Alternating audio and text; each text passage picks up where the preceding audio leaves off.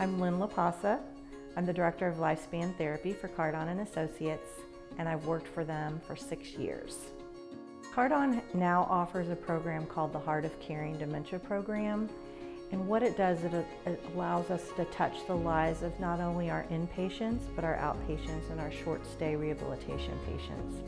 The program is geared toward residents or clients with cognitive impairments, and so what it does is it provides intensive training for all of our business associates, whether they're CNAs, housekeepers, activities, dietary, the therapy team.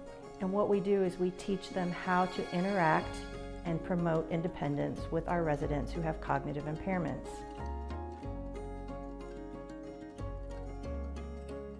My room is covered with pictures of family, walls, all the way around my room is nothing but my family.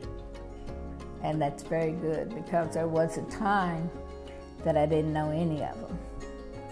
I um, had had surgery, and when I woke up, the body woke up, but the brain did not. So I lost about a year and a half of my life. I still have not got it all back, but I'm getting there, you know. I have flashbacks every once in a while. And if I can't remember what it's about, if I think it's if it's important, then I ask my sons, and they'll tell me whether it happened or it didn't happen. So, but they were just determined they weren't going to lose their mama.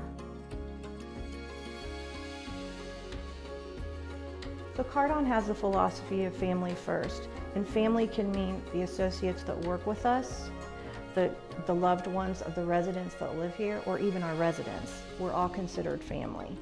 What we're trying to do here is to expand that knowledge base so that if a resident is in our community, whether they're a short stay or long stay, we're involving those family members in their care, inviting them to treatment, asking them to come in and participate in activities, watching them participate in self-care with a CNA, so that if that person goes home, whether it be for a, a therapeutic leave or even home permanently, the caregiver or that family member is able to take care of them um, to the best of their ability and the resident is comfortable and as independent as possible.